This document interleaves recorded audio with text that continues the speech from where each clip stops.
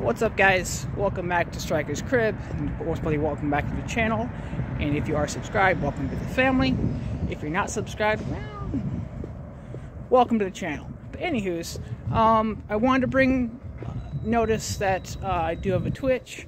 Uh, so do me a favor and please go follow me on Twitch at Striker's Crib. It should be the same profile picture and whatever else.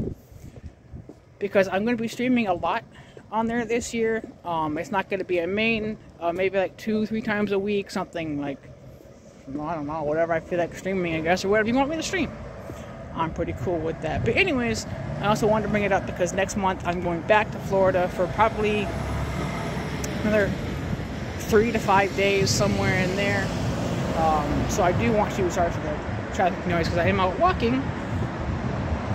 But I do want to bring it up that I'm going to be try to stream uh, on Twitch uh, for that experience. If you want to go, you want to go check uh, check me out on Twitch, give that a follow, and be there for the Twitch stream of Universal. Maybe go a good half hour, 45 minutes, whatever. Just kind of just mess around, have some fun. Excuse me while I watch and not get hit by a car.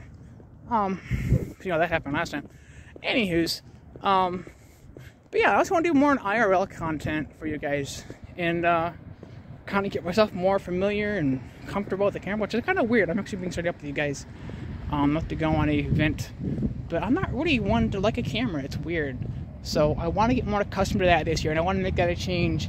You guys have requested vlog content, and trust me, I want to do it as much as you guys want to see it. Really, I do. But like, not a lot goes on in the background. So I'm wondering. I do go to the mall a lot, or like stores. Would you guys like me to vlog my mall trips or store trips?